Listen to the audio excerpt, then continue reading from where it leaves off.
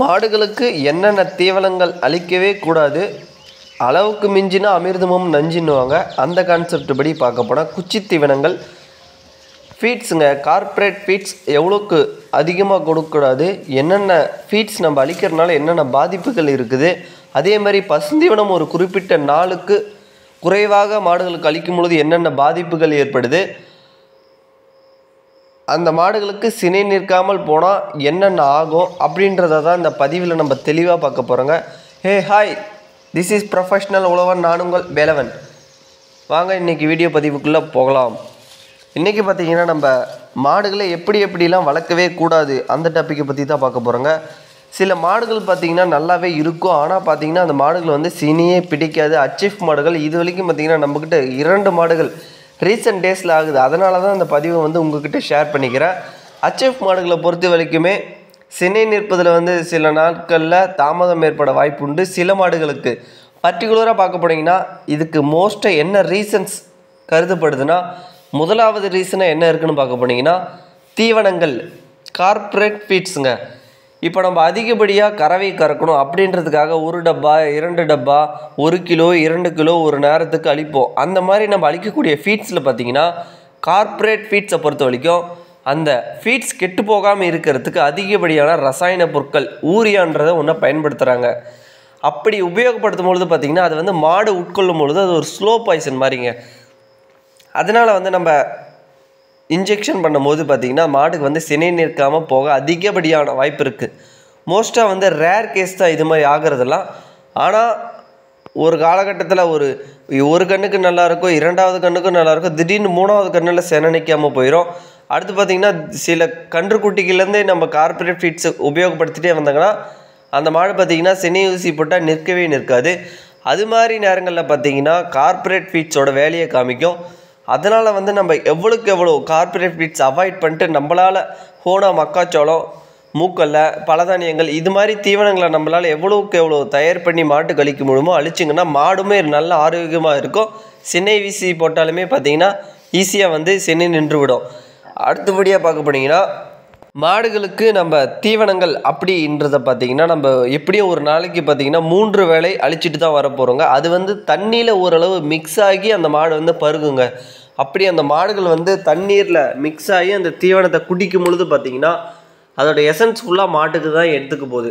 அதில் எந்த அந்த கெமிக்கல் இருந்தாலும் அது மாட்டுக்கு தான் பாதிப்பு. அதே மாதிரி நல்ல விஷயங்களாக இருந்தால் அழகாக எடுத்துக்கும். அதே மாதிரி கெமிக்கல்ஸாக இருந்தாலும் அதுதான் மாடுகள் தான் இக்னோர் பண்ணி ஆகணும். அப்படி அந்த மாடு உட்கொள்ளும் பொழுது பார்த்திங்கன்னா அதுக்கு வந்து சில காலகட்டங்களில் இப்போ ஒரு நம்ம நாமளே பார்த்திங்கன்னா அதிகப்படியான கெமிக்கலான சாப்பாடை சாப்பிடும்பொழுது பார்த்திங்கன்னா ஸ்டொமக்கு எவ்வளோ பாதிப்பு வருது? மாடுகளுக்கு வரும்பொழுது அது வந்து நம்மக்கிட்ட அவ்வளோ எளிமையாக வந்து சொல்ல முடியாது. சில நேரங்களில் பார்த்திங்கன்னா மாட்டுக்கு வயிறு போகிறது அடுத்து பார்த்திங்கன்னா ஒரு மாதிரி ஆடிட்டே இருக்கும். இது மாதிரி சில அறிகுறிகள் தெரியும். அதை வந்து கரெக்டாக பார்த்து நம்ம ஓரளவு சரி கட்டிட்டிங்கன்னா போதும். ஆனால் நம்ம அதை கண்டுக்காமல் விட்டுட்டு நம்ம நல்லா கா பால் கறக்கட்டும் கறவை கறக்கட்டும் அப்படின்றதுக்காக நம்ம அதிகப்படியான கார்ப்பரேட் ஃபீட்ஸை மட்டும் உபயோகப்படுத்திட்டே வந்துட்டு இருந்தால் ஓரளவு பார்த்திங்கன்னா மாடுகள் ஒரு இரண்டு வருடம் மூன்று வருடத்துலேயே பார்த்திங்கன்னா சினை நிற்காமல் போய்விடும். அடுத்தபடியாக பசுந்தீவனங்க பசுந்தீவனத்தில் பார்த்தீங்கன்னா பொதுவாகவே நம்ம மனசில் எல்லாருக்குமே ஒரு கருத்து இருக்கும். என்னென்னு பார்க்க போனீங்கன்னா பசுந்தீவனத்தை பொறுத்த வரைக்கும் எவ்வளோக்கு எவ்வளோ இலசாக போடுறாங்களோ அவ்வளோ சீக்கிரம் வந்து நம்மளுக்கு நல்ல கறவையும் இருக்கும் மாடுகள் விடாமல் சாப்பிட்றோம் அதனால் வந்து மாட்டுக்கு வந்து நல்லது அப்படின்றத தான் நம்ம நினச்சிட்டு இருப்போம். ஆனால் பார்த்தீங்கன்னா பசுந்தீவனத்தை நம்ம மாட்டுக்கு அப்படியே ஒரு இருபது நாளைக்குள்ளே இருக்கிற தட்டுக்களை அறுத்து போட்டுங்கன்னா கண்டிப்பாக வந்து அதில் பால் கறவையும் ஏறாது மாடு வந்து சினை நிற்காமல் போகிறதுக்கு அதிகமான வாய்ப்பு இருக்குங்க.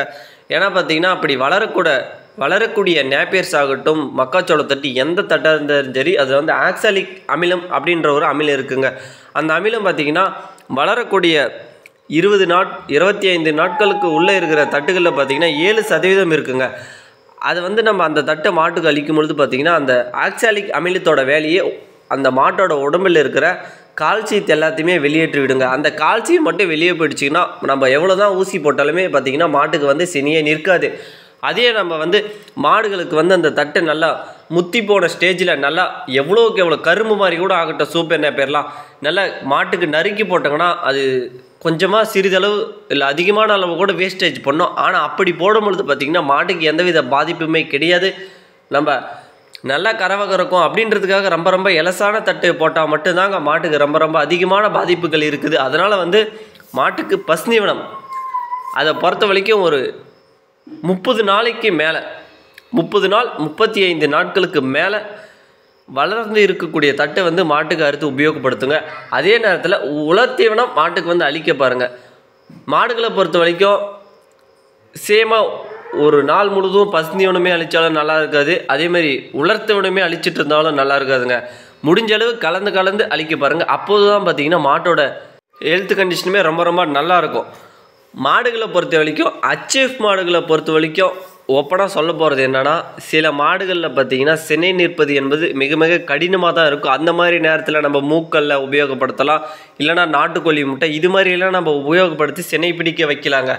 ஆனால் நம்மளுக்கு கண்ணுக்கு தெரிஞ்சே நாம்ளே நம்மளோட முதலீடை அழிச்சிட்டு அழிச்சிட்டு வரதுக்கு சமந்தான் இந்த ஃபீட்ஸ் அண்டு பசுநீவனத்தை முறையற்ற முறையில் நம்ம அழிச்சிட்டு வந்தோங்கன்னா கண்டிப்பாக பார்த்தீங்கன்னா ஒரு மாடுகள் ஐம்பதாயிரத்திற்கு குறைவான மதிப்பில் இருக்காதுங்க. அந்த மாதிரி நேரத்தில் நம்ம இது மாதிரி ஃபீட்ஸ் நல்லா கறவை கறக்கட்டும் அப்படின்றதுக்காக அதிகமாக வாரி வாரி அழித்தாலும் வாரி வாரி கொடுக்கலாம். ஆனால் வந்து அந்த ஃபீட்ஸ் வந்து நாமளே ஓனாக ரெடி பண்ணியிருந்தால் பிரச்சனை இல்லை. மக்கால மக்காச்சோள தானியங்கள் அது மாதிரி நம்ம தானிய வகைகளை அழிச்சிட்டு வந்தால் எந்தவித பிரச்சனையுமே கிடையாது. நாம் ஏதோ ஒரு நிறுவனத்து நிறுவனத்துக்கிட்டேருந்து வாங்கி நம்ம அந்த தீவனத்தை மாட்டுக்கு அழிக்கும் பொழுது பார்த்திங்கன்னா அதில் எக்ஸ்பிரி டேட்டுக்காக பதப்படுத்தி பதப்படுத்தி வைப்பதற்காக பார்த்தீங்கன்னா அதிகப்படியான ரசாயன பொருட்களை வந்து மிக்ஸ் பண்ணுவாங்க. அந்த ரசாயன பொருட்கள் பார்த்திங்கன்னா மாட்டோட வயிற்றுக்குள்ளே போகும்பொழுது பார்த்திங்கன்னா சென்னை பிடிப்பதில் வந்து ரொம்ப ரொம்ப பிரச்சனை ஏற்படுங்க. அதனால் வந்து முடிந்த அளவு கார்ப்பரேட் ஃபீட்ஸை குறைச்சிக்க பாருங்கள் அழகாக மக்காச்சோள கொட்டை மூக்கல்ல கூட இப்போ கிலோ வந்து டுவெண்ட்டி செவன் ருபீஸ்க்கு வந்து அவைலபிளாக நிறைய இடத்துல கிடைக்குது. அது மாதிரி நம்ம தேடினா தாங்க கிடைக்கும். அது மாதிரி நமக்கு மாட்டுக்கு எந்த பிரச்சனையும் இருக்கக்கூடாது. நம்மளுக்கும் ஓவர் காஸ்ட் ஆகக்கூடாது நம்ம பட்ஜெட்டுக்குள்ளே இருக்கணும். மாடு வளர்ப்பது என்பது மிக ஒரு சவாலான விஷயங்க. அந்த சவாலான விஷயத்தில் நம்ம முதலீடு இழக்காமல் இருக்கணும். ஏன்னா நம்ம நம்ம பண்ணையிலே பார்த்தீங்கன்னா நம்மக்கிட்ட வளர்ந்த கண்ணுக்குட்டி பார்த்திங்கன்னா நல்லா தான் இருந்துச்சு. ஒரு ஒரு வாட்டி கன்றுக்குட்டி போட்டு பால் நல்லா தான் கறந்துச்சு. இரண்டாவது கண்ணுக்கே சென்னை நிற்கலை. நம்மளுக்கு அப்போல்லாம் தெரியாது இந்த ஃபீட்ஸால் எவ்வளோக்கு எவ்வளோ பாதிப்பு இருக்குன்னு. நாம் மொத்தமாக ஃபீட்ஸ்லாம் வாங்கி போட்டுருவோம். நம்மக்கிட்ட வளர்ந்த மாட்டுக்கே இந்த நிலமை. அடுத்து பார்த்திங்கன்னா இன்னொரு மாடு வாங்கி வந்தோம். அந்த மாடு பார்த்தீங்கன்னா மூன்றாவது கன்று போட்டது. அதுவுமே எழுபதாயிரம் மதிப்புள்ள மாடு. அதுவுமே பார்த்தீங்கன்னா சென்னை நிற்கலை அடிமட்ட விலைக்கு இருபத்தி ரெண்டாயிரம் இருபதாயிரத்துக்கு அந்த மாட்டை விற்கும் பொழுது நம்மளுக்கு என்ன இருக்குது நஷ்டம் மட்டும்தாங்க மிஞ்சு மாட்டு பண்ணையில். அதனால் வந்து நம்ம எவ்வளோக்கு எவ்வளோ ஒரு ஒரு மாட்டையும் கவனமாக வச்சுக்கிறோங்களோ அப்பொழுது தான் நம்மளுக்கு வந்து நஷ்டம் என்பதே ஏற்படாது. ஒரு மாடு தானே அப்படின்னு நம்ம அசால்ட்டாக விட்டுருங்கன்னா அந்த ஃபீட்ஸோட பாதிப்பு நம்மளுக்கு தெரியாது. சிறிய சிறிய முதலாக தான் நம்மக்கிட்ட இருந்து காலி பண்ணோம். ஓகே ஃப்ரெண்ட்ஸ் இந்த பதிவை வந்து இத்தோடு முடிச்சுக்கிறேன். மறக்காமல் இந்த வீடியோக்கு ஒரு லைக்கு போட்டு விட்ருங்க நம்ம சேனலை சப்ஸ்கிரைப் பண்ணி விட்ருங்க மேலும் எதுனா உங்களுக்கு சந்தேகங்கள் இருந்தால் மறக்காமல் கமெண்ட் பாக்ஸில் போட்டு விடுங்க. நான் அதுக்கு ரிப்ளை பண்ணுறேன் okay bye bye thank you for வாட்சிங் நண்பர்களே.